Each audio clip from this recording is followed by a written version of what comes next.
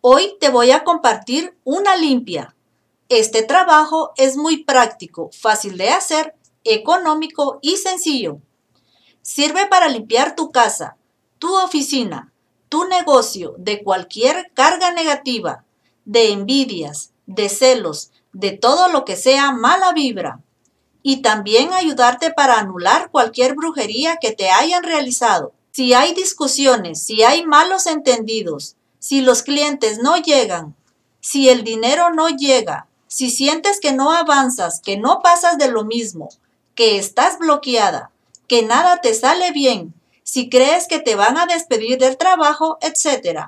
Entonces te urge realizar esta limpia. Antes de empezar, toca el cuadro rojo de suscribirse y activa la campanita para que te pueda enseñar nuevos secretos. Los materiales que vamos a utilizar son los siguientes. Tres limones de cualquier tamaño y color. Un poco de sal de cualquier tipo. Puede ser de mar, granulada o lo que tengas en casa. Nueve clavos de olor de los que se utilizan para cocinar.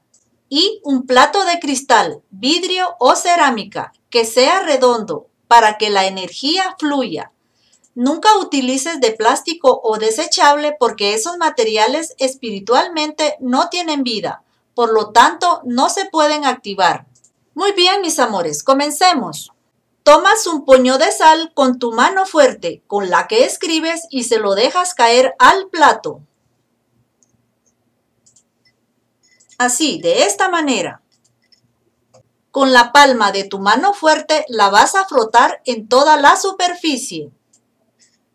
Así, de esta manera. No importa si se cae un poco, no te preocupes por eso. Así está bien. Seguirás aplicando otros dos puños de sal.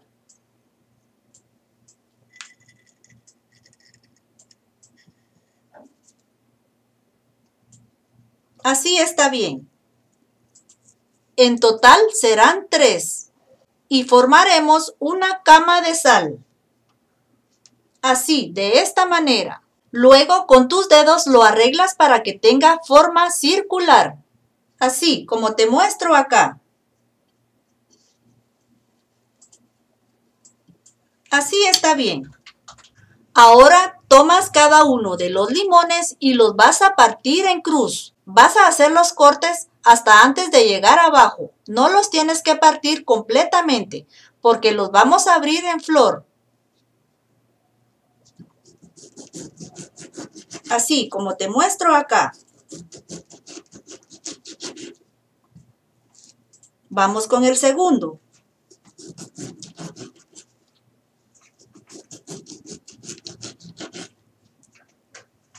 Y el tercero.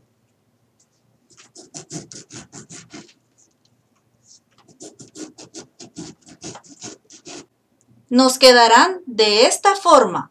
Ahora los vamos a colocar en la cama de sal, formando un triángulo, uno arriba y dos abajo.